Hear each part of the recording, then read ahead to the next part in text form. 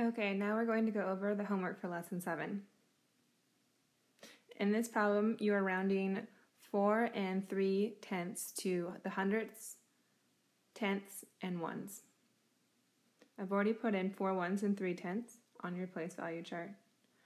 Now I'm putting 43 tenths, and lastly 430 hundredths. 430 hundredths is going to go to the bottom of your vertical number line. It's the same as saying 4.3. At the top of a vertical number line is 440 hundredths, which is equal to 4.4. In the middle, you're putting 4 and 35 hundredths, or 4.35. Now you're going to be putting the number, 4 and 3 tenths, on your number line, which happens to be at the bottom of the vertical number line. So you round to 430 hundredths. Now let's move to tenths. In your place value chart, you have 43 tenths. So I'm putting that at the bottom of the vertical number line. It's also the same as saying 4 and 3 tenths, or 4.3. At the top is 44 tenths, which is equal to 4.4. And in the middle, you have 4 and 35 hundredths. Once again, your number is at the bottom of your vertical number line. So it rounds to 43 tenths. Now we're moving on to ones. So on your place value chart, you have four ones, putting four ones, which is equal to four at the bottom of the number line. At the top is five ones, or five. In the middle, you have four and five tenths, or 4.5. Now you're going to be putting your number on the number line. It's four and three tenths. And now you're going to be rounding, and it's rounding down to four. Problem 2, 225 and 286 thousandths. Once again, they did not give us a hundredths place on the place value chart, so I put 22 tens. It's the same as saying 22 times 10, and 22 times 10 is equal to 220. I have five ones, I have two tenths, eight hundredths, and six thousandths. Working with ones, I have 225 ones, two tenths, eight hundredths, and six thousandths. I have 2,252 tenths, 8 hundredths, and 6 thousandths. And finally, 22,528 hundredths and 6 thousandths. Remember, those are all different ways of saying 225 and 286 thousandths. And the reason we're doing this is to help you with your vertical number lines and rounding. Working with hundredths, I'm putting 22,528 hundredths or 225 and 28 hundredths on the bottom of your vertical number line. At the top, I'm putting 22,529 hundredths, which is equal to 22, 225.29. Your midpoint is going to be 225 and 285 thousandths. Now I'm going to be putting our number on the on the line in orange. It is right above our midpoint. Now you're going to be rounding it rounds up to 225 and 29 hundredths. Now we're moving on to ones. In the one spot, you can see we have 225 ones, which is the same as saying 225. At the top, you have 226 ones, which is the same as saying 226. Our midpoint is 225 and 5 tenths.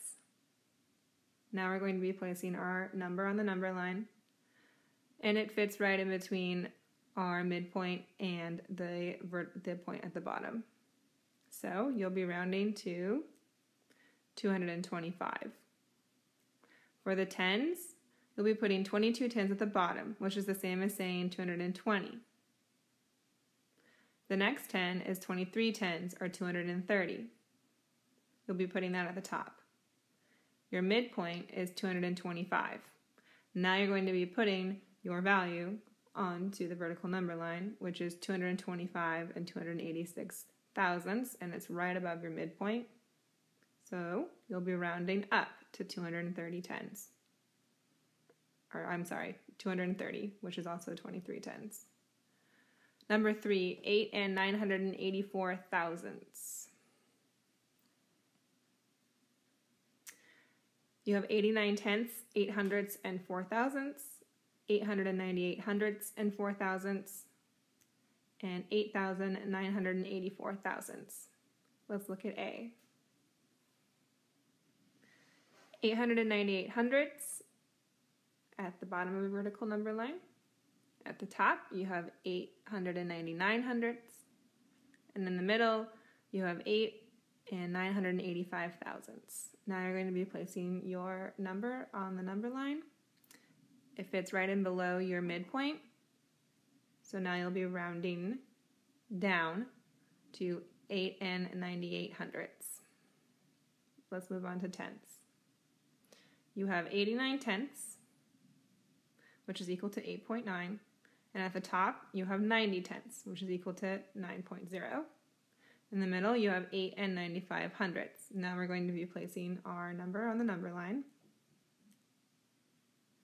You have 8 and 984 thousandths. It's pretty close to 90 tenths. So you'll be rounding up to 90 tenths, or 9.0. Moving on to ones, you have eight ones at the bottom, nine ones at the top. In the middle, you have eight and five tenths. Your number fits in toward the top right below the nine ones, so you'll be rounding up to nine. Now moving on to tens. Now you know that this number will be fitting in between 0 and 10.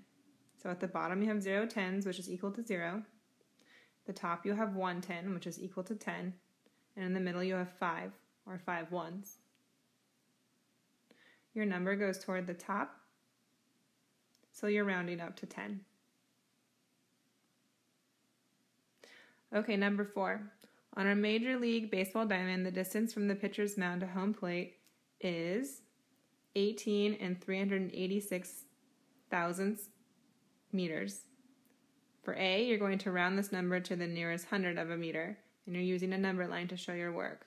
Then, for B, you'll be answering the question, how many centimeters is it from the pitcher's mound to home plate? You'll be applying your previous knowledge from lesson 4 to answer B. Let's work on A.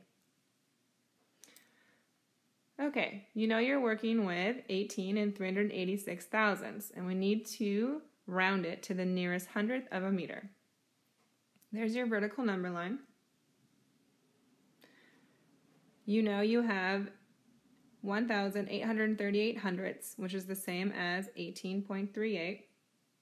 At the top, you're putting 1,839 hundredths. I'm looking at the hundreds place value and seeing where the whole number will fit in between. Your midpoint is 18 and 395 thousandths. Now I'm going to be placing our number on the number line. I'm looking at the value in the thousandths to determine whether or not it'll be above or below the midpoint. It'll be above the midpoint, so you'll be rounding up to 18 and 39 hundredths. So your answer is 18.39 meters. Now moving on to B. One meter is equal to 100 centimeters. So you'll be setting up your equation using multiplication. So 18 and 396 thousandths multiplied by 100 is equal to 1,839 and 6 tenths of a centimeter.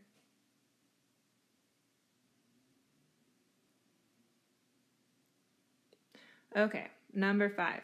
Jules reads that one point, pint is equivalent to 473 thousandths liters. He asks his teacher how many liters there are in a pint. His teacher responds that there are about 4,700 liters in a pint. He asks his parents, and they say there are 5 tenths liters in a pint. Jules says they are both correct. How can that be true? Explain your answer. This is very similar to the problem you did on your problem set, the last one as well, number 5. So let's start.